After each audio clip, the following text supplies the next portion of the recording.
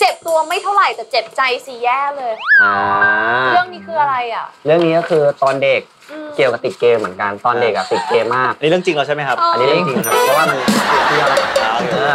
เป็นเรื่องตอนเด็กก็คือเด็กๆอะช่วงนั้นมันจะมีเกมไอ้ที่แบบว่าต่อสู้แปลงร่างอะจนมีวันหนึงอะก็คือยายยายผมมารู้สึกว่าจ๋ารู้สึกว่าผมมาติดเกม เยอะเกิเดี๋ยนวก่อนเรียกยายว่าจ๋าเหรอเรียกยายว่าจ๋าเพราะอะไร อุ้ยน่ารักอะก็ยายจ๋าก็เลยเรียกว่าจ๋าอุ้ยน่ารัก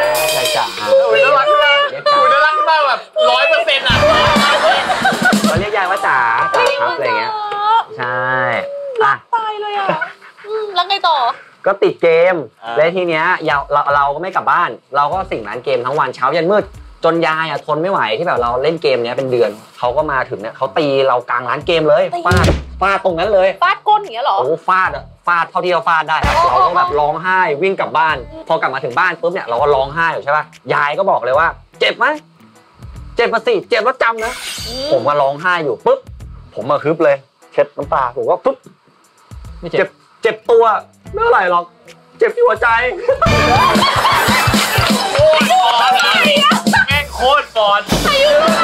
ไม่เป็นคำพูดฟอนมากเลยคือเราเป็นแบบเด็กไม่ยอมเลยเด็กอะเขาถามเราว่าเจ็บไหมเราก็ไม่บอกหรอกว่าเราเจ็บตัวเออเราก็บอกไม่เจ็บหรอกตัว เจ็บที่หัวใจมากกว่าอะไรอย่างเงี้ยโคตรฟอนค่ะยายจำมาจากไหนเนี่ยพอเด็กพูดไปปุ๊บยายขำกากเลยจ๋าขับกลางเลยจ๋าคือแบบอุ้ยโถน่าเอ็น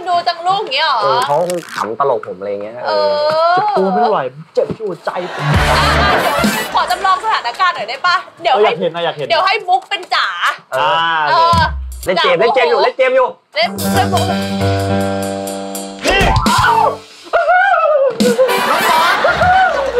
เล่นเกมไม่ยอมกลับบ้านเนี่ยจ๋าเป็นห่วงรู้ไหม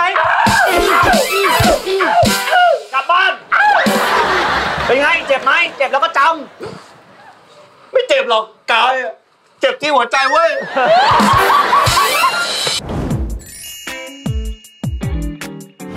ฝากกดไลค์ กดแชร์ กด subscribe ช่องวัน Playground ด้วยนะคะ แล้วก็สามารถชมคลิปอื่น ๆ ได้ตรงนี้เลย